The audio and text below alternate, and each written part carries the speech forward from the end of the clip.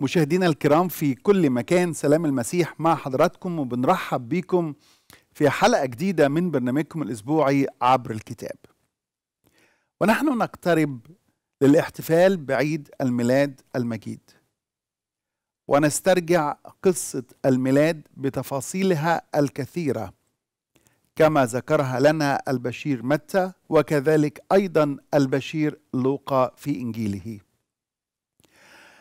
نعلم أيضا من هذه التفاصيل كم ردود الأفعال نحو ميلاد المسيح. وهذه ردود الأفعال كانت ردود أفعال مختلفة وكثيرة جدا. فبين التسبيح والتمجيد لله كما رأينا مريم العذراء كما رأينا أيضا زكريا الكاهن وإليصابات وسمعان الشيخ كل هؤلاء ارتبطوا بقصة الميلاد بتسبيح لله الذي افتقد شعبه وصنع فداء لشعبه. لكن أيضا نرى المجوس الذين أتوا من أماكن بعيدة من أقصى الشرق لكيما يأتوا ويسجدوا. أين هو المولود ملك اليهود؟ وعندما رأوا الصبي سجدوا. لكن في نفس الإطار نجد أيضا هيرودس الملك الذي كان يريد أن يقتل الصبي والذي أيضا قتل الأطفال في بيت لحم. وإلى يومنا هذا وبعد أكثر من ألفين سنة من ميلاد المسيح. ما زالت ردود العالم أو الناس نحو ميلاد المسيح تتلخص في الملايين الذين يسجدون لله شكرا وحمدا أن الله افتقد الإنسان وصنع له فداء في المسيح يسوع. لكن أيضا هناك الكثيرين الذين يتأذون ويرفضون وينكرون حقيقة التجسد.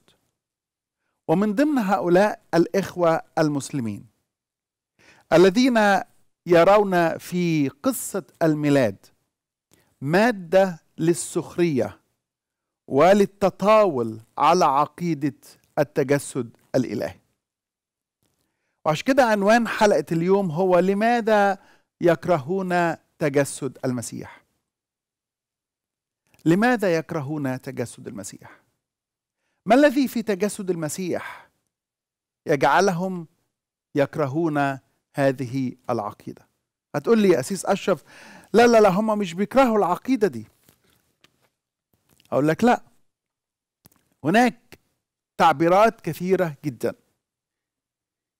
وفيديوهات كثيرة جدا. فيها نوع من التطاول على عقيدة التجسد. هو مش اختلاف آراء لكنه نوع من التطاول.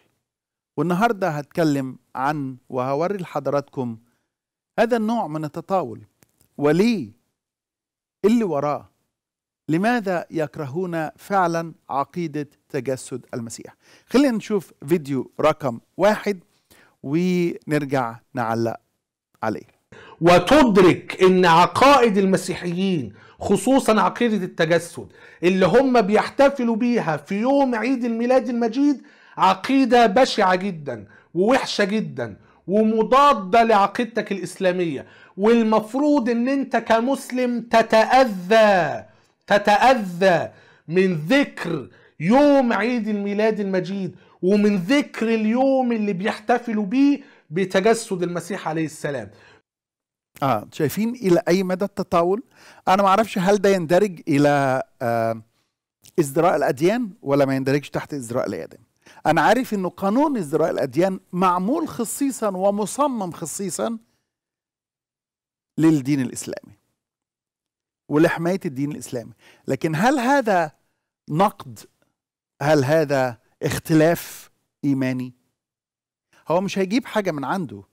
إذا كان أساسا إله القرآن ورسول الإسلام كفر الذين يختلفون معه في الفكر. فمش هيجيب حاجة جديدة. لكن هل هذا يصل إلى الإزدراء ازراء الأديان ولا لأ؟ وبعدين هنشوف في الفيديو اللي بعد كده تكرار كلمة بشعة. يعني يعني يعني آه، هو بيعبر عن هذه العقيدة آه، يردد الكلمة وال- وهو عايز يوصل فكرة إلى أي مدى هذه العقيدة في نظره. هي عقيدة بشعة جدا. شوف الفيديو الثاني اللي فيه تكرار كلمة بشع.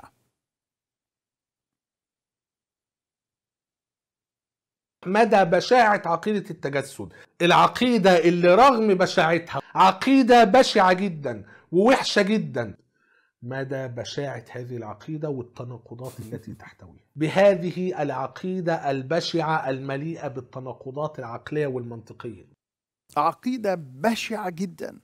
عقيدة يعني يتأذى الإنسان منها. والغريب آم، تاثره العاطفي. هو في الفيديو دون عمل إيه؟ جاب بعض الاقتباسات. من آه، أثناثيوس القديس. اثناسيوس وكيرلس والبابا شنودة واوسطينوس وهم بيتكلموا عن روعة التجسد الإلهي. كويس؟ فهو آه، آه، آه، يعني دخل في المود شوية واظهر قد إيه هو متأثر نفسيا وعاطفيا. شوف الفيديو اللي جاي. وأنا حاولت ألخص فيه تأثره العاطفي آه، آه، بعقيدة التجسد. الطفل ده ضعيف و... ولا يملك من نفسه شيء ولو أمه أهملته ممكن يموت أو ممكن بهيمة في المزود تدوس عليه تموته. الله المستعان. الله المستعان. حرام. يا ده كله نتيجة عقيدة التجسد مدى بشاعة هذه العقيدة والتناقضات التي تحتويها. لا إله إلا الله محمد مش قادر. يقول كلمة معنى أيوة. من هذه. العقيدة مم. هي دي الكلمة اللي أنا بختم فيها الفيديو النهاردة دعنا من هذه العقيدة أتمنى من المسلمين أنهم يجدوا في قلوبهم الإيمان الكافي الذي يردعهم من تهنئة المسيحيين في اليوم اللي بيحتفلوا فيه بهذه العقيدة البشعة المليئة بالتناقضات العقلية والمنطقية. إنسان مثل هذا لا لا تملك آه، أنت إلا فعلا الشفقة عليه. لأنه قلبه مليان مش بالنقد الموضوعي. المسلمين ما يعرفوش حاجة اسمها نقد موضوع لكن قلبه مليان بالكراهية. فهو كما يكره هو يكره في سبيل الله ومستعد أيضا يقتل في سبيل الله. كويس؟ هذا هو ال ال ال الفكر اللي عايش فيه واللي مستولي عليه. طيب أرجع للسؤال. هم لماذا يكرهون تجسد المسيح؟ إيه إيه اللي في تجسد المسيح بيكرهوه؟ ولماذا يكرهونه؟ لو رحنا إلى آه نحاول هنا أحط ثلاث أسباب مهمين جدا يجعلوا المسلم فعلا يصل إلى هذا النوع من الكراهية. لماذا يكرهون عقيدة التجسد؟ أول حاجة الفهم الخاطئ عن الله. وأتكلم عنها بالتفصيل. هناك فهم خاطئ عن الله. وهذا الفهم الخاطئ هو الأساس الذي يتحرك فيه الإخوة المسلمين. فهم مبني على القرآن. فهم مبني على تصورهم عن مين هو الله. الفهم الخاطئ عن الله. الحاجة الثانية الفهم الخاطئ عن الإنسان. وعدم احتياج الإنسان لخلاص أو لفداء الحاجة الثالثه الفهم الخاطئ عن التجسد الإلهي. هو هو هو ليه ليه كده؟ ليه ليه ليه هذه البغضة اللي ممتلكاه؟ ليه هذا ال ال ال ال الكراهية نحو الإيمان المسيح؟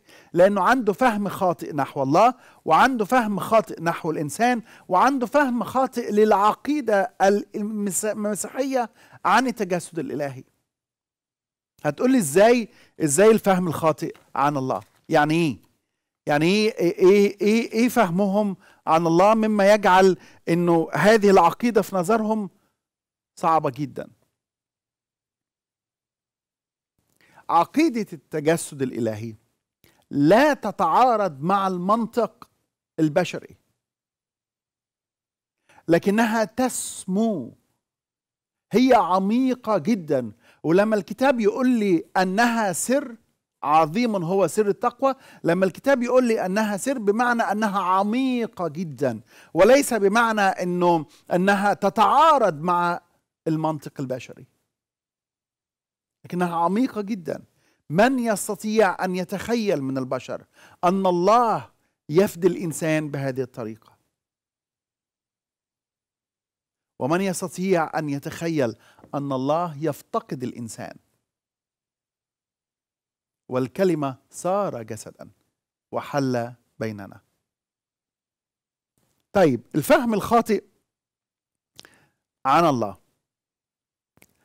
في عبارة كده بتتقال الله يعني أنا وأنا هقارن ما بين الله في الإسلام والمسيحية. في عبارة كده قالها القرآن ودايما بتتردد دون فهم. وأنا بعتبرها كذبة أو ادعاء خاطئ. وهي القول بأن إلهنا وإلهكم واحد.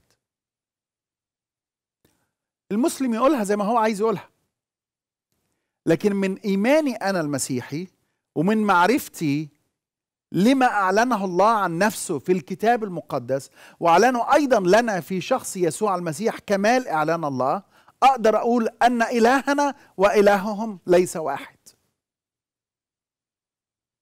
وأي مسيحي يردد هذه العبارة هو لا يعرف شيئا عن الله في الإيمان المسيحي.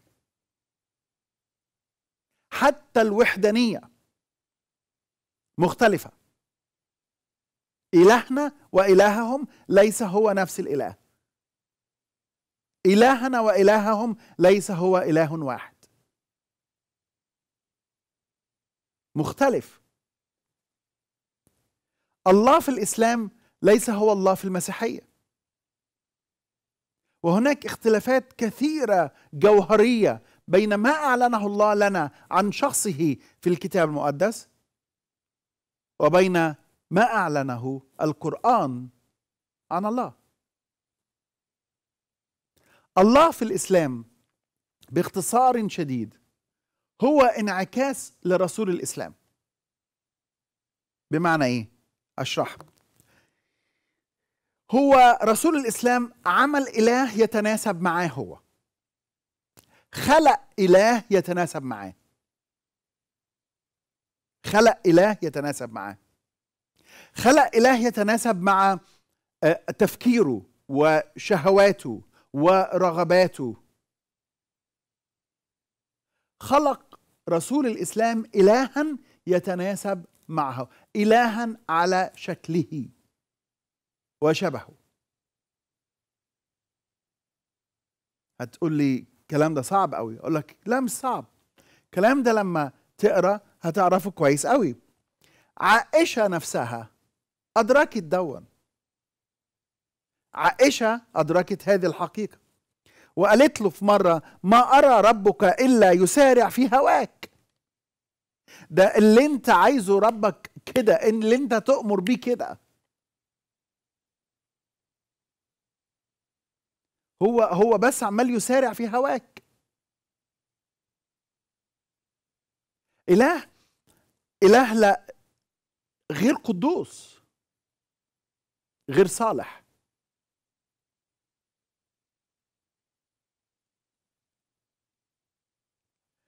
عندما انتقد أبو لهب رسول الإسلام أنزل الله سورة يشتم فيها أبو لهب.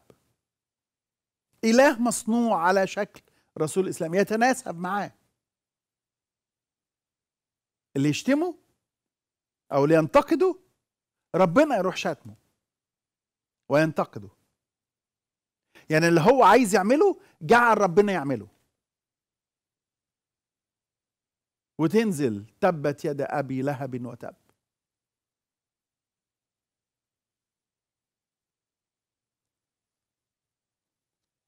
عندما اشتهى زوجة ابنه بالتبني أسرع الله للدفاع عنه ونزلت آية التحريم هو كل ما يريد الله يسرع لكيما يحقق أهواءه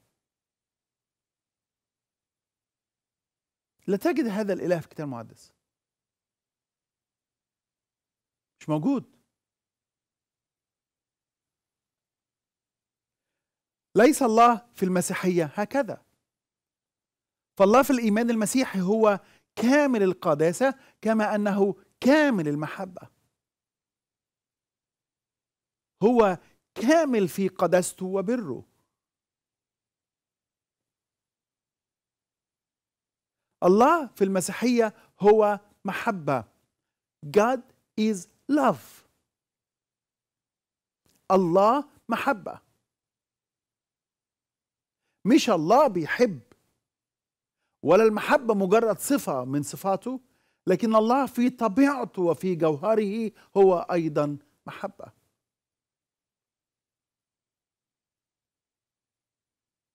وده اللي أعلنه الكتاب في يوحنا الأولى 3 و16 لأن الله محبة فهو أب. أب. في الإيمان المسيحي الله أب. حتى كلمة الله علمتنا إنه لما نصلي لله نقول أبانا الذي في السماوات. وهو أب للمؤمنين. هو أب. لا أدعوكم عبيد بل أبناء. انظروا أية محبة أعطانا الآب حتى ندعى أولاد الله. فهو أب. إله الإسلام لا يمكن أن يكون أب. ولا يمكن المسلم أن يقترب إليه كابن.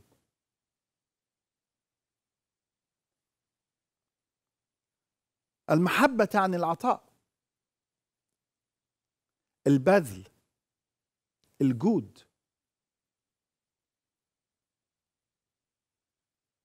وما هي أعظم عطية ممكن يعطيها الإنسان؟ يعطي ذاته.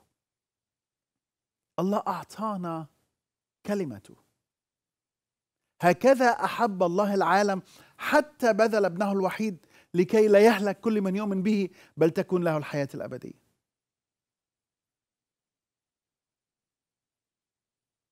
إن الله بين محبته لنا أظهر محبته لنا وإذ ونحن بعد خطاه مات المسيح لأجلنا.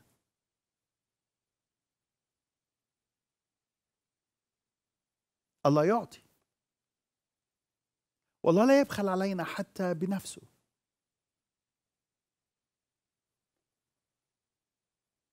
الله في المسيحية واحد. نعم. لكنه مثلث. موجود بذاته ناطق بكلمته وحي بروحه. هيجي واحد مسلم يقول لا لا لا بس أنتوا بتؤمنوا بثلاث آلهة. أنتوا بتؤمنوا بثلاث آلهة. وأنا من على هذا المنبر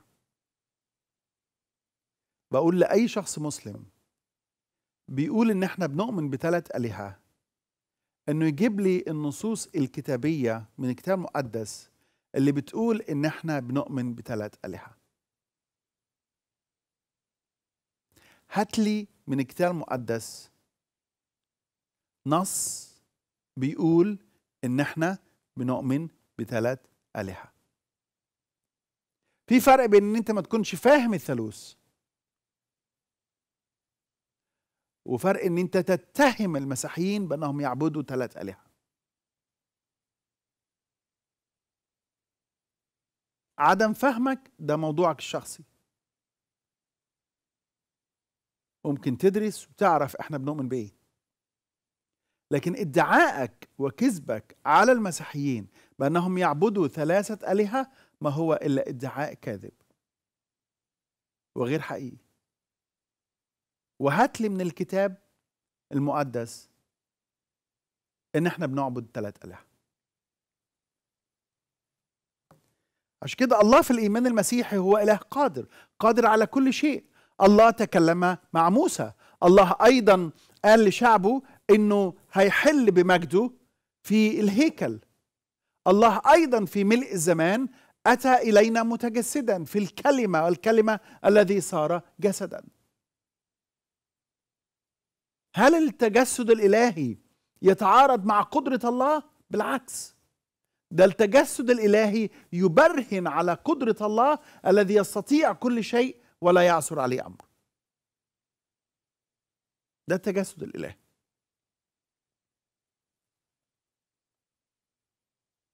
هل يمكن للإنسان أن يرى جوهر الله؟ في الإيمان المسيحي الله روح. ولا يمكن للإنسان أن يرى الله بكامل لاهوته ومجده. زي ما يقدرش الإنسان إنه يحتضن الشمس أو قرص الشمس أو حتى يقترب إلى قرص الشمس. هكذا الله في كمال لاهوته ومجده. وعشان كده قال لا يستطيع أحد أن يراني ويعيش. لكن كلنا مؤمنين بالشمس. وعارفين أن هناك أشعة اسمها أشعة الشمس. الضوء اللي موجود بره في الخارج ده ضوء الشمس. عارفين أيضا هناك دفء بيجي من الشمس.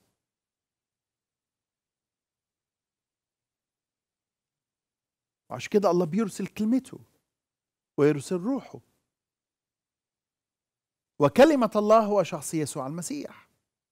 المعلن عن الله. الذي أظهر لنا من هو الله. زي ما بتطلع بره وتشوف الدنيا منورة والشمس مشرقة. فوجود هذا الضوء هو إعلان على وجود الشمس.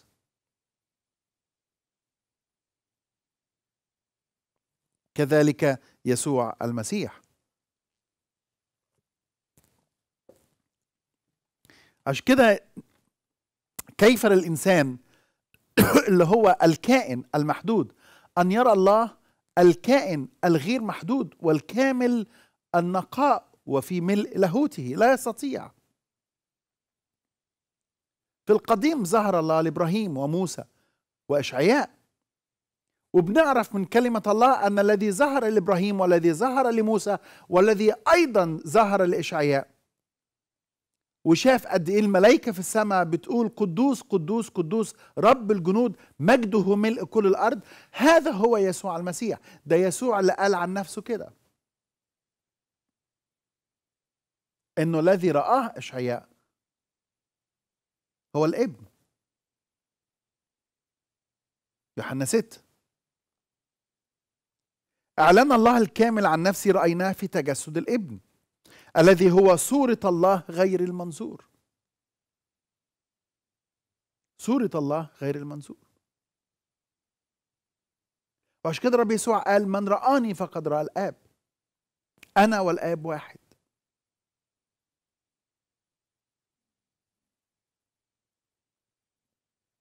الفهم الخاطئ عن الله.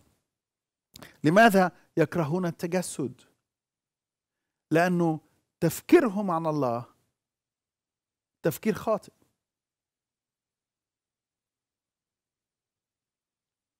تفكيره عن الله وصفات الله وطبيعة الله تفكير خاطئ. السبب الثاني هو فهمهم عن الإنسان أيضا فهم خاطئ. المسيحية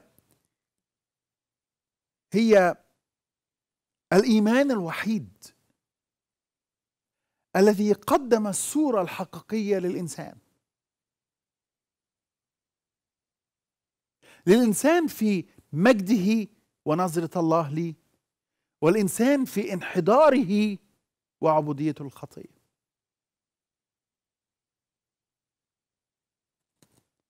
عشان كده أجي لمشكلة الإنسان. إيه هي مشكلة الإنسان؟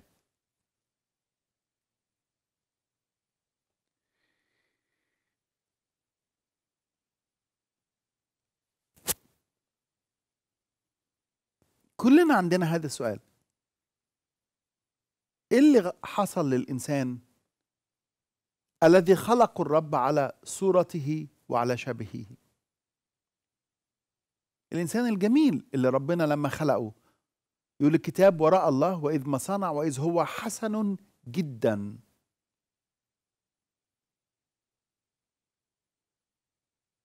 ليه هذا الإنسان اللي هو حسن جدا بقي وحش جدا؟ ليه كل أفكار قلبه صارت شريرة؟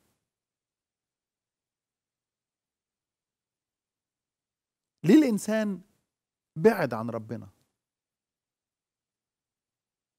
ليه الانسان صار بهذا الشكل القبيح اخلاقيا وروحيا. ليه الانسان حتى إلى يومنا هذا بيحاول يقنن الخطية. ويجعل الأمور الإلهية اللي الرب اتكلم عنها وادانها يحاول إنه يقدمها على إنها it's it's norm it's حاجة عادية. مش مشكلة. سواء من مخدرات أو من سلوك جنسي أو من حروب أو من بغضة.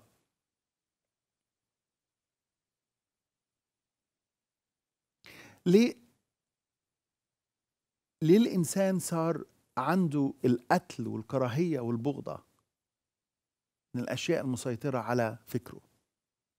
إيه اللي حصل له؟ الإسلام لا يمكن أن يقدم إجابة واضحة عن مشكلة الإنسان. لا يمكن. وما يعرفش يجاوب عن مدى المأساة اللي عايش فيها الناس الإنسان. وما يعرفش يجاوب على سؤال هو إيه اللي حصل للإنسان. وصار وحش. قدرش يجاوب على كده. لكن إحنا عندنا الإجابة على كده. عندنا الإجابة واضحة جدا. عن إيه اللي حصل للإنسان؟ يوجد شيء غلط في الإنسان. لماذا أصبح الإنسان شرير منتقم ظالم عنيف سافك دم؟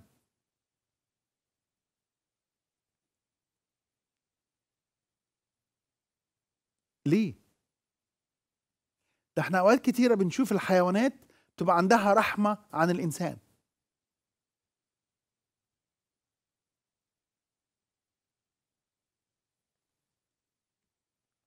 كيف تحول الإنسان من حالة البراءة اللي اتخلق عليها إلى حالة الفساد الكلي؟ إلى حاله قال عنها الكتاب المقدس ليس من يعمل صلاحا ليس ولا واحد. ليه؟ لأن الجميع زاغوا وفسدوا ليس من يعمل صلاحا ليس ولا واحد. هل في مشكلة في الإنسان؟ أيوه. يجي المسلم يقول لي بس ما العالم الغربي مليان حروب وقاد حروب ودمر شعوب. أنا مش بتكلم على العالم الغربي ولا العالم الشرقي. أنا بتكلم على الإنسان كإنسان.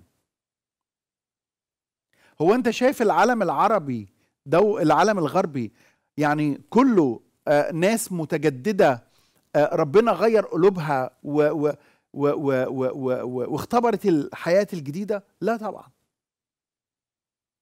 العالم الغربي يمكن عايش بمبادئ إلى حد ما نقول عنها من الناحية الحرية الشخصية والإنسان ليه قيمة وليه مكانة آه من الناحيه الكتابية أوكي لكنه العالم الغربي بعيد عن الرب. ولما أمريكا ولا إنجلترا ولا فرنسا تقود حرب ضد أي بلد أخرى ملهاش علاقة بالكتاب المقدس. أنا بتكلم عن الإنسان كإنسان. بتكلم عن الإنسان كإنسان. إيه بقى مشكلته؟ قبل ما أتكلم عن مشكلة الإنسان خليني طب أخد مداخلة من الأخ أبو مهند. ألو؟ من الأردن؟ مساء الخير. مساء النور. أهلا بيك. تحية محبة للدكتور أشرف. أهلا. وسهلا بحضرتك. اسمح لي بهذه الكلمة أيها الحبيب. الله محبة. فمن هو الإنسان حتى تذكره وابن آدم حتى تفتقده.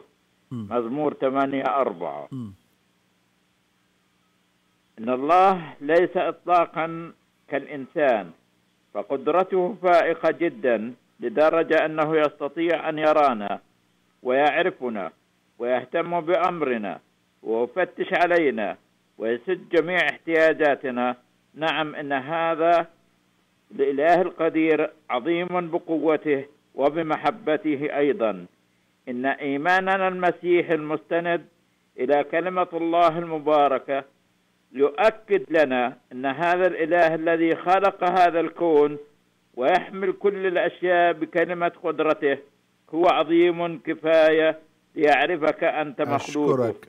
إنه عظيم كفاية ليهتم بك أنت أنت شخصيا. شكرا أبو عندما مهند أفكر شكرا ليك شكرا عن ليك. مقدار ضعفنا وعجزنا كبشر أمام العظمه الإلهية وقدرتها لا يسعني إلا أن أشكره على محبته هذه التي آمين. توازي قوته. شكرا شكرا ليك. الله يحب أولاده لا لأنهم يستحقون محبته بل لأنه هو محبة. شكرا. وشكرا يا شكرا ليك. شكرا شكرا.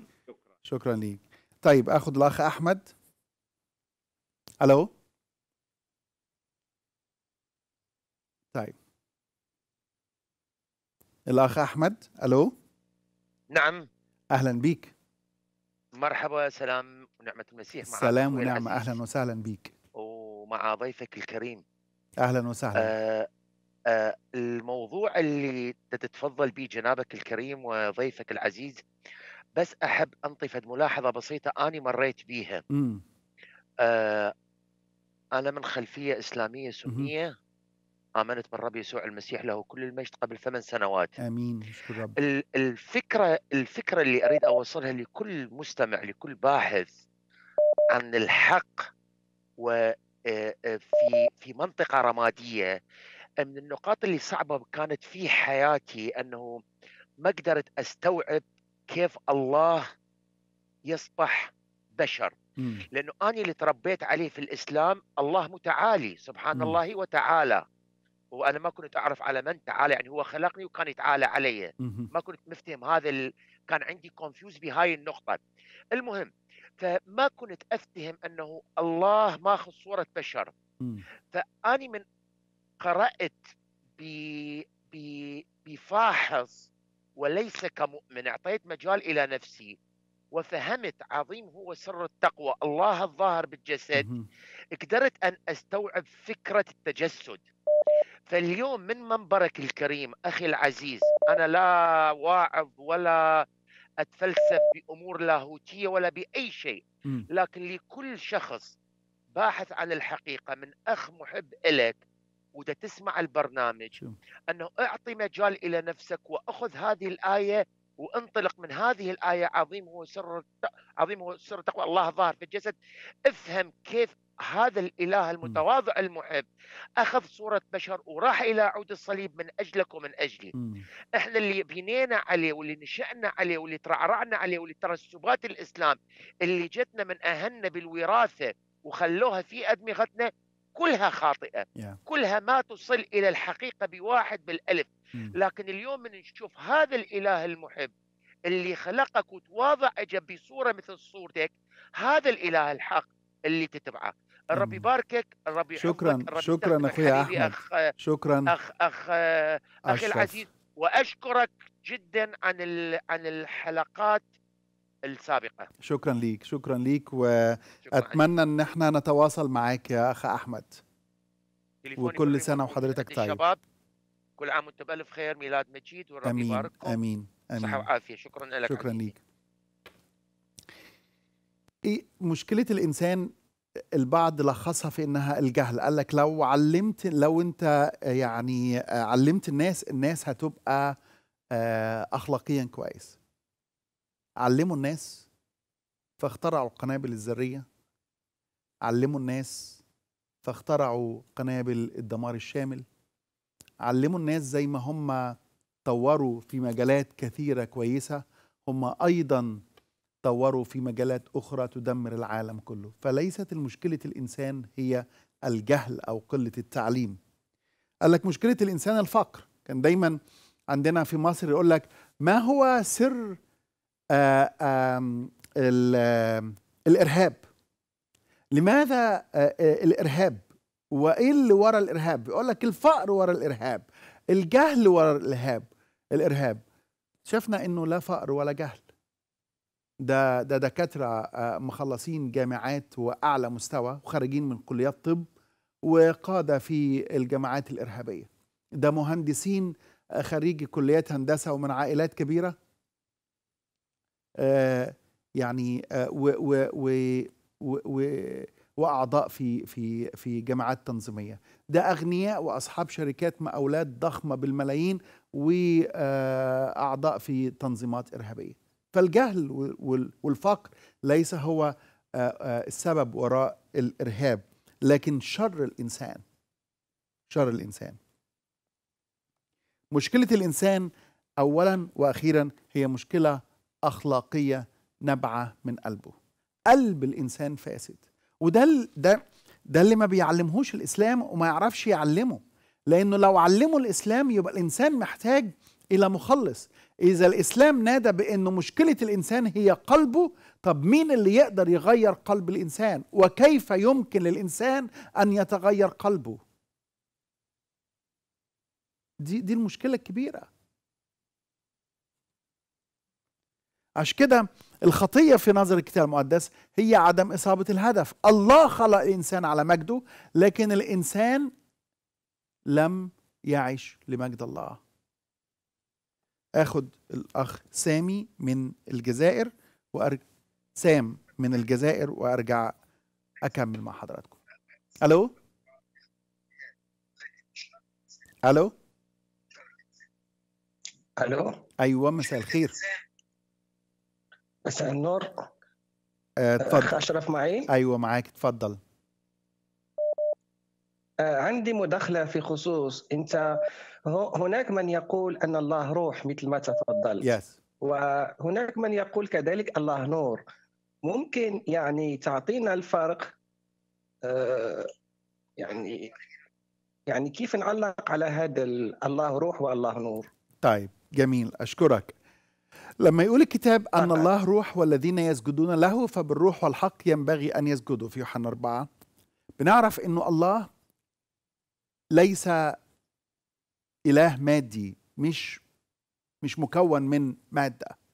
أنا كإنسان مكون من روح ونفس وجسد فأنا مكون من مادة. أنا عندي إيدين بتتحرك إيدين فعليتين فيزيكالي تقدر تلمسهم. عندي عينين تقدر تشوفها كويس. كل ما هو مادي كل ما هو محدود. الله روح الله غير محدود. الله غير محدود. لكن لما يجي الكتاب يقول لي أن الله نور بيقول لي كمان عبارة أخرى بيوضح لي يعني إيه الله نور. يعني الله نور أي أن الله ليس فيه ظلم البتة. إن كل ما في الله هو نقاء وطهارة وقداسة. الله نور. فكلمة النور مرتبطة بإن الله ليس فيه أي نوع من الديفولت أو الديفو أو الأخطاء أو ال- ليس فيه آه، ظلمه باته هو نور. هو ليس مصدر الشر. هو لا يفكر بالشر.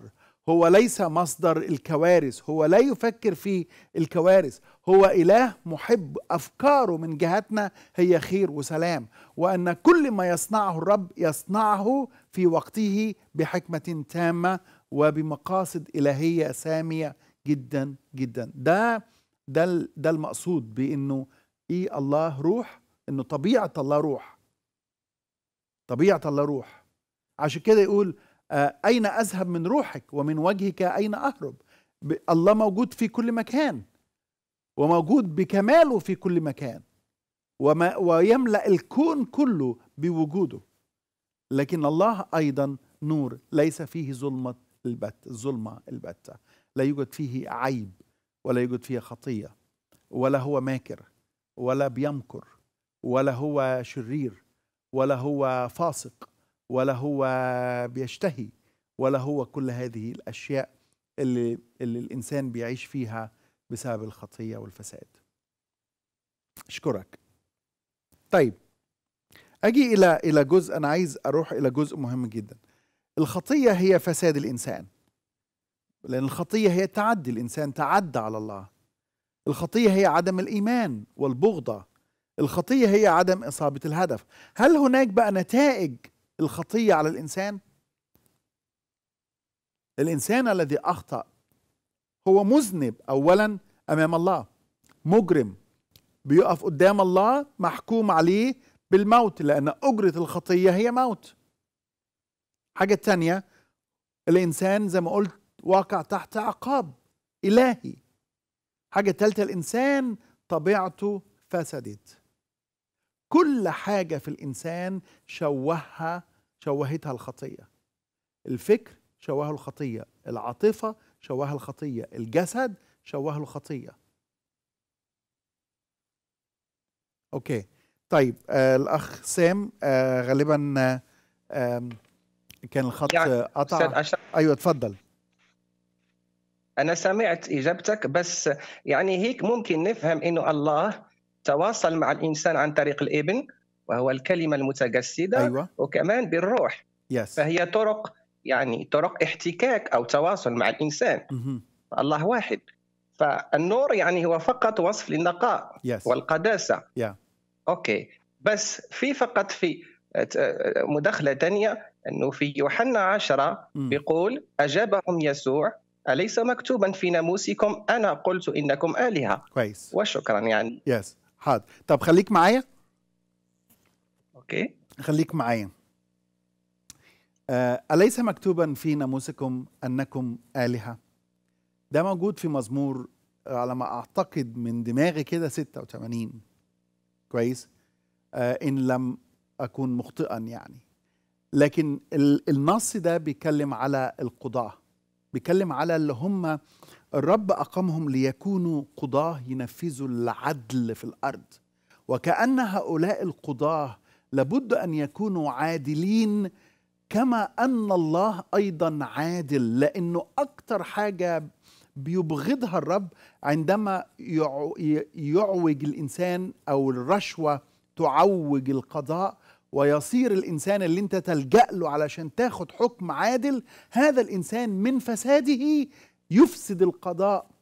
كويس. وعشان كده الله بينظر إلى هؤلاء القضاة الذين أقامهم آه، للعدل وللمساواة وللحكم في صف المظلوم بينظر إليهم على أنهم آه، آه، يعني في مكانة نائبين عن الله. هذا ليس أنهم divinity بمعنى أنهم آلهة بمعنى أنهم طبيعتهم إلهية. لكن هم يقوموا بعمل الله. هم آه، مسؤولين وينوبوا عن الله في هذه الأرض. ده المقصود منها. ولكن ليس أوكي. انكم آلهة بمعنى بمعنى إنه you are a divine person. كويس؟ يعني م- ممكن احكي أخ أشرف؟ آه طبعا تفضل. يعني أنا أنا ممكن أفهم يعني من خلال الإجابة الأولى إنه آه، يعني ظهور أو تجسد الإبن هو كان حتميه عشان تكمل الصلة بين الإنسان والإله. يعني إذا إحنا افترضنا ما فيش علاقة عن طريق الإبن وعلاقة عن طريق الروح القدس يعني ما فيش مصالحة ما فيش. أصلا تعريف شخصي عن الإله. يعني دي حتمية. ده صح. تكون علاقة بين الإنسان والله. بالظبط دي حتمية لأنه الله خلق الإنسان لكي ما يقيم معه علاقة. آه الإنسان أكيد ال- يعني الخناق ابن يعني إيه؟ بدون إبن أو بدون روح قدس ما راح تكون علاقة كاملة. صح صح. ليه؟ عشان كده عشان كده في العهد القديم اخ سام لما اتكلم عن الرب قال إيه؟ أنت محتجب يا الله. اليهودي مهما كانت علاقته مع ربنا لكن الله كان شايفه أو اليهودي كان شايف الله وراء الحجاب إنه إنه ما حدش يقدر يدخل إلى قدس الأقداس إلا مرة واحدة في السنة. الله برضه محتجب.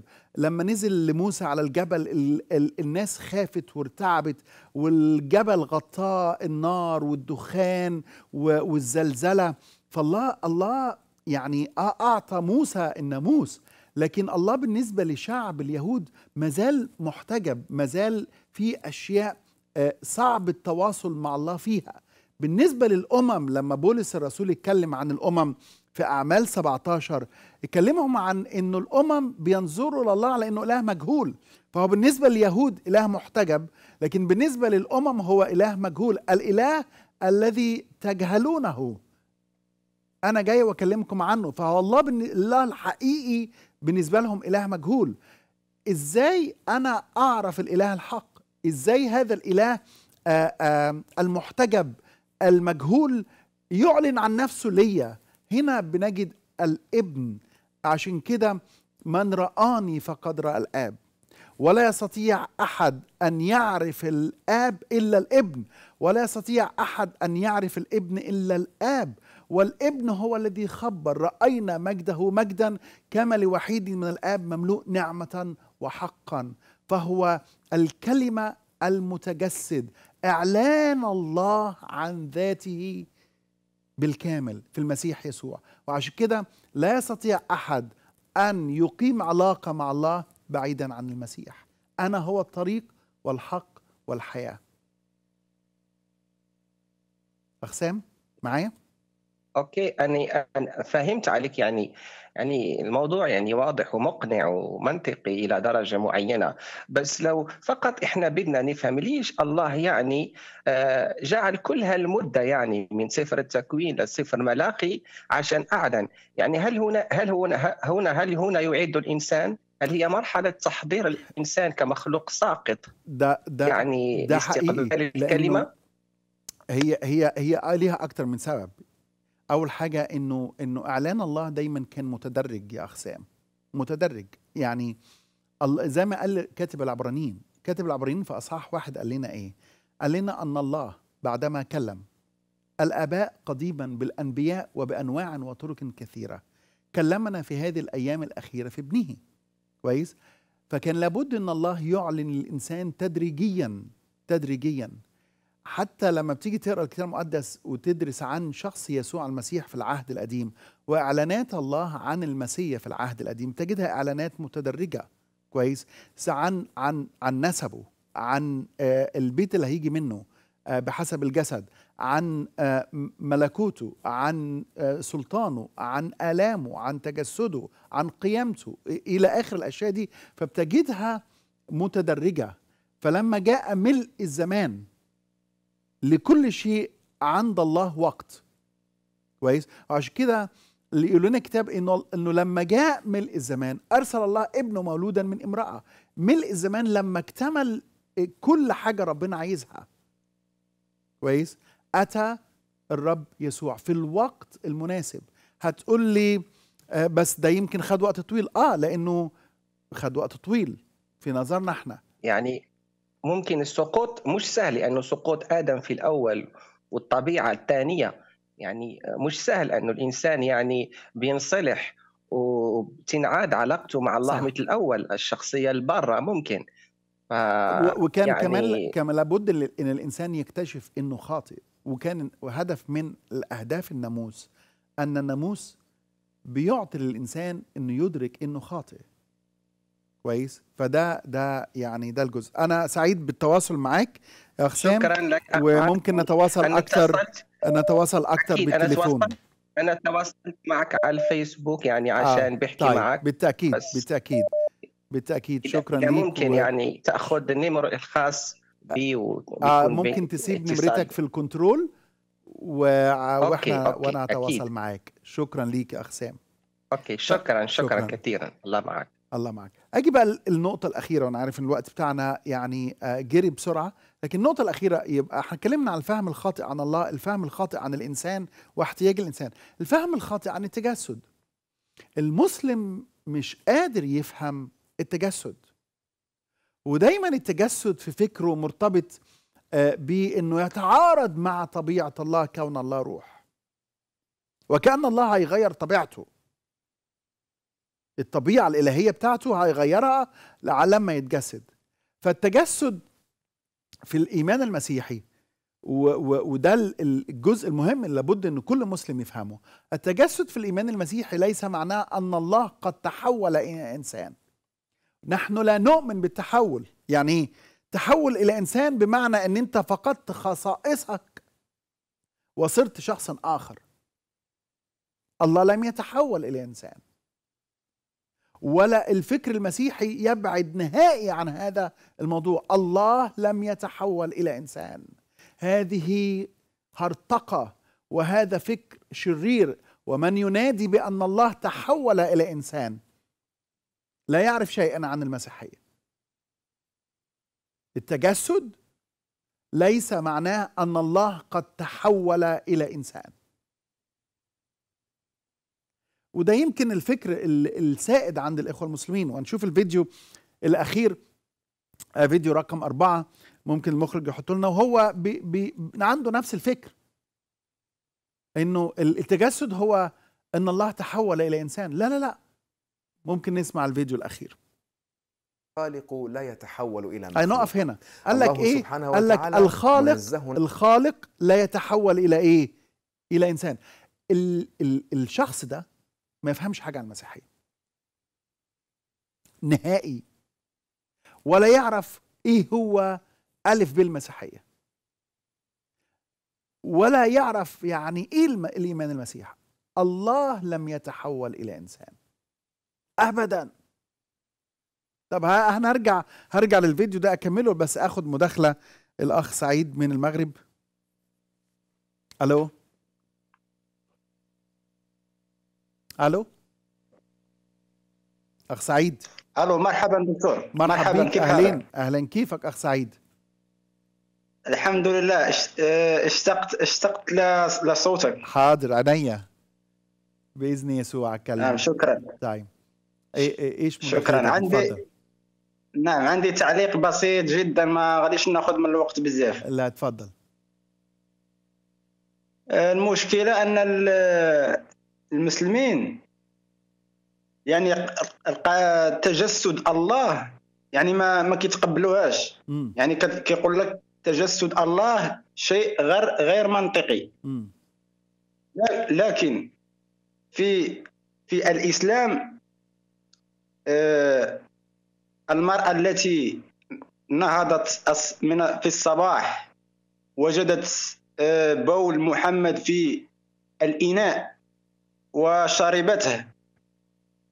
ثم لما محمد آه، رأى المرأة شربت بوله الذي كان في الإناء قال لها آه، لن يؤلمك بطنك بعد آه، بعد اليوم. هل هذا منطقي؟ هل هذا من المنطق أن امرأة تشرب بول محمد في الصباح؟ هل هذا منطقي؟ كويس إنه ما حصلهاش هذا تسمم نعم يعني محمد كان عليه أن يقول للمرأة أنك ه- هذا البول سي... سيد... يعني. سيتسبب بأمراض يا لكن هو قال لها إنه آه، الب- البول من اليوم لن يؤلمك بطنك آه. وكان وكان ي- شيء آخر عو- ثاني شيء آخر إنه آه، محمد كان يبزق يبزق يعني البزاق. كان يبزق على الصحابة ويده ويدهنون الب- البزاق على وجوههم. هل هذا سؤال للمسلمين؟ هل هذا منطقي؟ هل هذا يعني تعيبون على المسيحيين أن الله تجسد ومات من أجل خطايا البشرية؟ ولا تعيبون على أنفسكم هذه الأحاديث؟ كيف تقبلون بهذه الأحاديث في دينكم؟ شكرا أخي سعيد.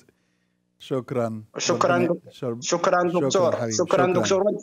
نعم ون- ونتمنى تتواصل معي طيب بالتأكيد دكتور. بالتأكيد حبيبي بالتأكيد. نعم وأنا دائما دائما أنتظر مكالمتك لكن ما حاضر حاضر. لا لا لا خالص. طيب نكمل الفيديو لأن الفيديو يعني بيقول لنا الفكر الإسلامي عن التجسد. كويس؟ وهو ليس الفكر المسيحي. ناخد الفيديو. الخالق لا يتحول إلى مخلوق. أوكي وإحنا الله بنتفق سبحانه معاك. وتعالى منزه عن أن يكون له زوجة منزه عن أن صح. يكون له شريك في ملكه. صح. إحنا بنتفق معاك في ده كله. بس أنت لو بتؤمن دون هو الإيمان المسيحي يبقى أنت اللي غلطان. أنت محتاج تغير فكرك وتدرس عن المسيحية. التجسد ليس معناه أن الله قد تحول إلى إنسان. والتجسد أيضا ليس معناه أن إنسانا صالحا صار الها. دي كانت بدعة. اسمها بدعة التبني adoptionism. إنه إنه آه، يسوع المسيح كان شخص كويس قوي قوي للدرجه إن ربنا تبناه ورفعه يكون إله. ليس هذا هو الإيمان المسيحي. أمال إيه إيه إيه التجسد؟ التجسد إنه بالتجسد هو اتحاد. اتحاد بين الطبيعة الإلهية والطبيعة الجسدية. الله لم يخلي الكلمة الأزلي أن أن الكلمة الأزلي الإبن لم يخلي نفسه من الصفات الإلهية ولم يستبدلها أو يستبدل ما هو إلهي بما هو بشري. فطبيعة الله الروحية طبيعة أزلية لا تتغير. بالتجسد لم تتغير. طبيعة الله هذه ولم تستبدل بما هو بشر ببشري. زي بالظبط الأكسجين وطبيعته. ان كل التشبيهات بتبقى عاجزة لكن الأكسجين بطبيعته لا يمكن أن تتغير طبيعته سواء كان في الهواء أو في الأنبوبة. التجسد إيه هو؟ التجسد في الإيمان المسيحي هو أن الابن الأزلي كلمة الله الذي هو موجود قبل البدء اتخذ طبيعة بشرية. الكلمة صار الكلمة صار جسدا. وحل بيننا. ورأينا مجده مجدا كما لوحيد من الآب مملوء نعمة وحقا. والكلمة صار لا تفيد التحول ولا تعني التحول لكنها تفيد اتخاذ أي أن الكلمة اتخذ جسدا. وصار إنسانا بدون أن يطرأ أي تغيير على لاهوته. ولهذا فالتجسد الإلهي هو أن الابن الأزلي اتخذ طبيعة إنسانية بجانب طبيعته الإلهية. لكن لماذا تجسد المسيح؟ هنكمل الموضوع ده في الحلقة اللي جاية فإلى أن نلتقي سلام المسيح يكون معكم.